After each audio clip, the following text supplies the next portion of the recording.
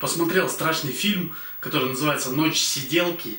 Э, другое его название это «Проклятие Лилиан».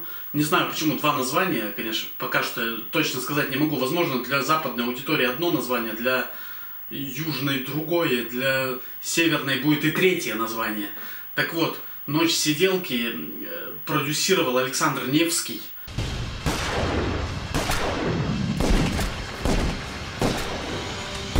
все вы его знаете. А режиссером выступил Джо Корнет, тот, который снимал Рио Браво с тем же Александром Невским. В общем, команда работает вместе. Э, студия Hollywood Storm идет к своей цели намеченной. И вышел вот такой вот фильм. И я его посмотрел. Он, конечно же, позиционируется как хоррор, ужас, триллер и все прочее. Do yourself a favor, detective. Let her rest in peace.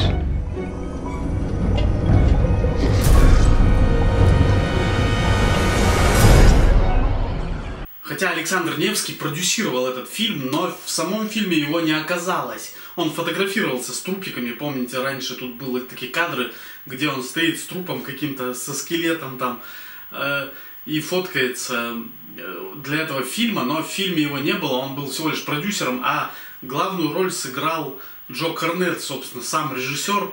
Не знаю, с чем это связано, но Джо Корнет отыгрывал главного героя, это был такой детектив, который ищет кто убил его мать, и выходит вот на, на, на дом, где живет бабулька, которая, собственно, и есть Лилиана, которая, собственно, и делает такие вот проклятия.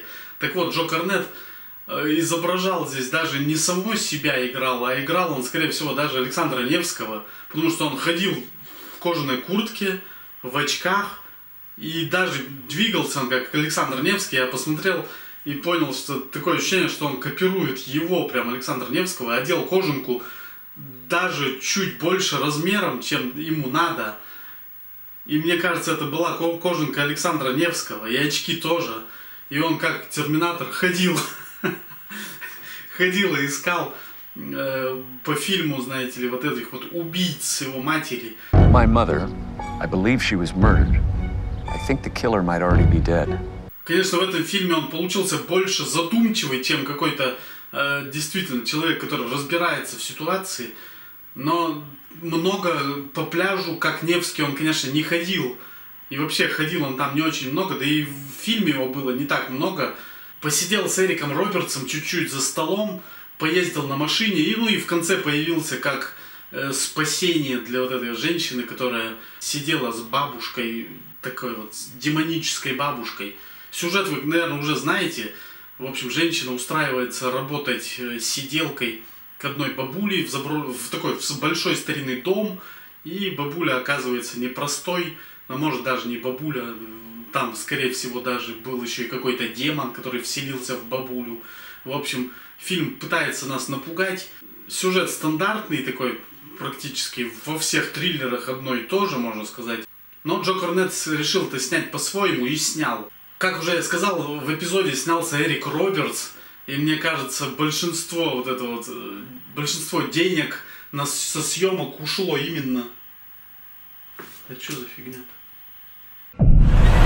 Как я уже сказал, в эпизоде здесь снялся Эрик Робертс, это было его такое маленькое камео, но я так понял, что э, большую часть денег пришлось отвалить именно ему, потому что весь фильм оставшийся, можно сказать, сняли за день, за два. Потому что все происходит в, одной, в одном доме, э, в которой принимают участие всего бабуля, женщина-сиделка, ну и Джо Корнет, который сам снимает фильм, иногда появляется в кадре. Эрик Робертс и Джо Корнет общаются в начале фильма, и видно, как такое ощущение, что, этот, что они снимали Эрика Робертса отдельно. Сначала сняли Эрика Робертса, потом сняли Джо Корнета, а потом соединили по, по кадрам, то один кадр, то другой кадр, как будто они между собой разговаривают. И получилось так, что Джо Корнет смотрит, э, сидит за какой-то за забор, короче, рядом, сзади забор, он смотрит за него и говорит, и говорит что-то Эрику Робертсу, а Эрик Робертс также сидит с другой стороны и смотрит за этот же забор. И при переключении постоянных кадров кажется, что они смотрят оба куда-то за забор, не смотрят друг на друга и создалось впечатление, что они снимались порознь. Ну, видимо, потому что Эрику Робертсу было некогда, и они сняли его в каком-то кафе. И вообще очень много таких вот недочетов, которые просто выбивают из атмосферы. Тут должно быть, ты должен как-то вникнуть в фильм, должен войти в эту атмосферу ужаса и страха, но тебя постоянно какие-то мелочи выбивают, и кажется, что это просто лишь постановочная съемка и ничего больше. Я надеюсь, что э, Джо Корнет и Александр Невский сделают какие-то выводы вот из этого фильма, пересмотрят этот фильм, сделают э, работу над ошибками, и уже в следующих фильмах будет совсем все классно, и все вот эти шероховатости уйдут. Я только этого им и желаю. Когда мы вдвоем с братаном снимали фильм «Вертел», «Последний человек», он еще называется, в другой, в другой версии, так вот, мы его перемонтировали четыре раза, а то и пять.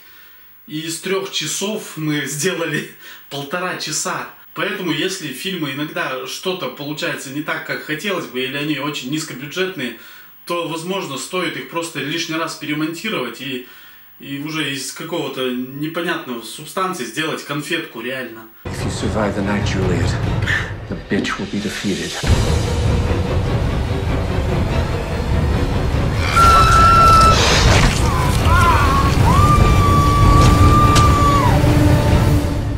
Действия часто помогали, например, в фильмах Ван Дамма, сам Ван Дам рассказывал как-то в своих интервью, что он перемонтировал фильмы, там, «Кровавый спорт», «Кикбоксер», он сам, приходилось ему самому частенько перемонтировать даже некоторые даже боевки, чтобы это получилось как-то классно. Перемонтировка, мне кажется, могла бы исправить любой фильм, и фильм «Ночь сиделки» она могла тоже исправить очень сильно. Просто качественно перемонтировать это все.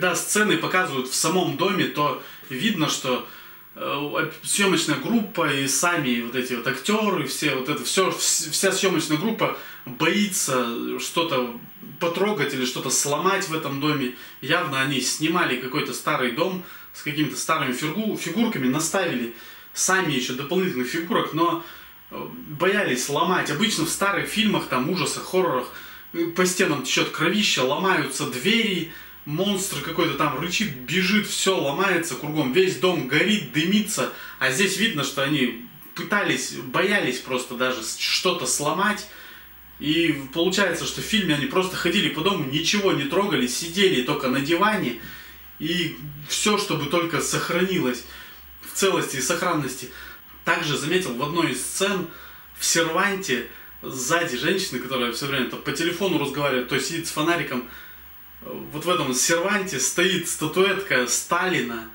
Ну, тут по-любому Александр Невский э, сам запихнул эту статуэтку, видимо, для того, чтобы сделать какую-то вот пасхалку, чтобы люди посмотрели и вспомнили про Россию, да? Вспомнили про, про Александра Невского в титрах. Заправлены планшеты, космические карты. Эту песню, товарищ Митрофанов, Гагарин пел в космосе.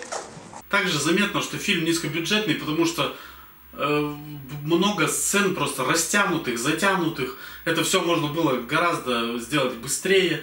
Титры тоже шли там 10 минут. Перед титрами в последней сцене э, камера летает по дому там 10 минут. И вот эти 20 минут лишние. Если бы убрать, да еще сократить лишнюю там всякую болтовню, можно было сделать минут 40, 45, и могло получиться, знаете, серия из фильма байки из склепа. Помните, был такой сериал, и там в каждой серии, такой короткой по 40 минут, в каждой серии какой-то сюжет был, был какой-то свой ужастик. Ну, правда, вот в фильме «В байках из склепа» там э, постоянно в каждой серии был какой-то сюжет, и все время нам показывали какие-то людские вот эти грехи, людские какие-то проблемы, там, ненависть, там, какой-то все время пытались это показать наверх, из-за чего человек страдает. А в этом фильме, в фильме «Ночь сиделки», я не понял, что они хотели показать. Сиделка вроде неплохая была, да, хотела много работать, заработать еще немножко денег. Зачем ее убивать? Незачем. В бабульку вселился демон – ну, вселился и вселился, она старенькая, все равно бы померла, в нее вселился демон, она дольше прожила. Вот этот Джо Корнет, который э, детектив, он как бы тоже здесь не пришей кобыли хвост, и он, он, он ни в чем не виноват, никаких проблем. Проблема только в том, что как будто у него убили 20 лет назад мать, и он вот это разыскивает, кто это сделал. Как-то все натянуто получается, и такого вот эффекта от того, что зло наказано, а добро победило, тут в этом фильме не получается. Здесь получился просто какой-то какой хоррор, просто без идей. Ну, демон, он и должен быть злой. Ну, бабка здесь заложник ситуации. Сама сиделка тоже ни в чем не виновата. Когда начались экшн-сцены и нужно было биться с демоном, вообще там все как-то по-дурацки. Э, все стоят на месте ровные. Джо Корнет только постреляет чуть-чуть. Сам вот этот демон, он в резиновой маске. Прям видно, что она резиновая. Никаких таких вот особенностей у нее нету, как, например, там ножи у Фредди Крюгера там. Или длинная башка и зубы, как у чужих там. Что-то такое, чтобы выделяло персонажа. Или восставшие из ада там зубами щелкали там. И был весь в этих в иголках, там, в гвоздях. Тут такой особенности нету, просто какая-то маска, купленная на рынке. Я не знаю, она просто резиновая. И сам главный вот этот демон во время борьбы ведет себя вот так прямо, хватает что-то, кусает, ходит за ними. И такое ощущение, что он боится, что маска у него, он, если он сделает вниз, как-то пошевелит башкой, маска у него отпадет. Вот эта вот мастика отклеится, маска отпадет и типа провал дубля. Поэтому они все прямые, ходят прямо бросается только подушить чуть-чуть. Потом Джо Корнет сам э, не показывает никаких эмоций, стрельнет пару раз, тоже изображает Невского, стрельнет пару раз, тот его что-то по шее царапнул, ну там он рот что-то открыл, а, типа больно, и потом опять сидит раненый, без эмоций. Короче, сцена драка вообще была непонятная. И, кстати, в конце титров написали, что вот это, все экшн-сцены делал тоже Александр Невский, он был еще продюсером, а еще и он экшн-сцены все разрабатывал, поэтому, видимо, полез не в свое дело, короче. Вот в другом фильме, где Невский бился с жердяями и с карликом, вот там были поставлены файтинги, да, все.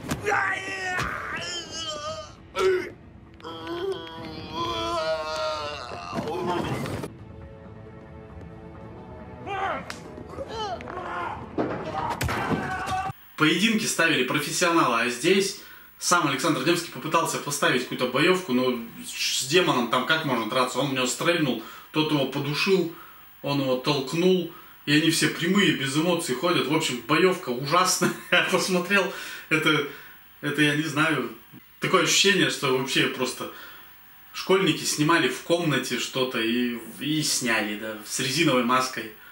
На Хэллоуин, можно сказать. Да и пугать в этом фильме тоже пытаются какими-то странными вещами, какими-то, знаете, которые были еще, я не знаю, в 60-х годах. То паучок выскочит, женщина там, паук, то свечка загорится неожиданно. Та тоже, кто ее зажег? Такие вещи, которые, знаете, в семейке Адамс были, вот и они их почему-то поставили. Такие моменты для пугания были вот именно такие, как в семейке Адамс. Ну, в семейке Адамс это сборище таких вот шутеечек, просто приколы, да?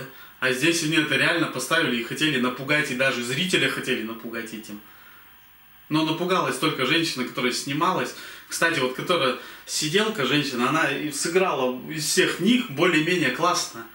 Даже Эрик Робертс, ну Эрику Робертсу просто не хватило ничего, его просто посадили, сняли по тексту и все. А вот женщина снялась тут нормально, она прям боялась, так боялась, она сидела с фонариком, тряслась, ну как-то, вот единственное, что в фильме женщина снялась реально, по-настоящему. И такое ощущение, что было, что она правда боится, глаза, зрачки расширены, черные, она сидит, боится. И, блин, вот в это, вот в это я поверил, действительно. В общем, фильм получился очень слабым. Я вот перед этим фильмом смотрел другой ужас.